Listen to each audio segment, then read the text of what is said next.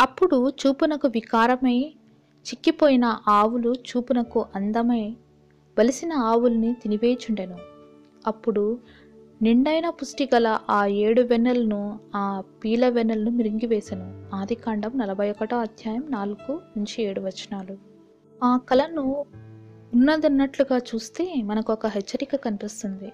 మన జీవితంలో అతి శ్రేష్టమైన సంవత్సరాలు మంచి అనుభవాలు సాధించిన ఘన విజయాలు చేసిన అదృష్టమైన సేవ మొదలైన మంచి విషయాలను పరాపజయాలు వైఫల్యాలు అప్రతిష్టత దేవుని రాజ్యం పట్ల పనికిమాలినతనం మొదలైనవి మింగేసే అవకాశం ఉంది.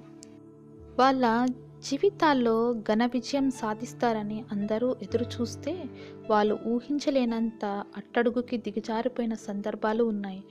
ఆలోచిస్తే బాధేస్తుంది కానీ ఇది నిజం. ఒక భక్తుడు చెప్పాడు ఇలాంటి విచారకరమైన విషయం నుండి తప్పించుకోవాలంటే ఒకటే సాధనం. ప్రతిదినం ప్రతి గడియ దేవునితో ఒక వినూత్నమైన తాజా సంబంధాన్ని తిరిగి కల్పించుకోవడం. నిన్నటి నా ఘనకార్యాలు నా గతంలోని దీవెనకరం ఫలభరితం జయకరం అయిన అనుభవాలు ఈ రోజున నాకేమీ లాభం కలిగించవు సరికదా? ఈనాటి పరాజయాలు వాటిని మింగేయవచ్చును కూడా.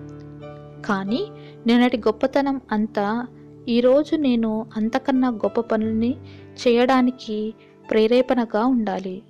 క్రీస్తుకి అంటుకట్టబడడం ద్వారానే నెలకొనే ఈ వినూత్నమైన తాజా సంబంధం మాత్రమే నా జీవితంలో నుండి చిక్కిపోయిన ఆవుల్ని పీన వెన్నెల్ని దూరంగా ఉంచగలదు.